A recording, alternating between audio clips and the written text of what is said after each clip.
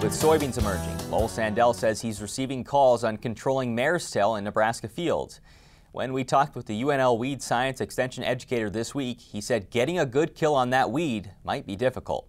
We have seen mare's tail populations increase over the last uh, five to six years, and uh, some producers are still having a little bit of trouble um, getting the control that they would uh, want uh, on mare's tail, and it's very difficult to control. Uh, we have encouraged folks to do uh, fall applications with effective herbicides or get out very early in the spring when the plants are small. Uh, but you know, some folks uh, haven't done that yet, and they're still trying to control post-emergence. So now we're in post-emergence, what can you do?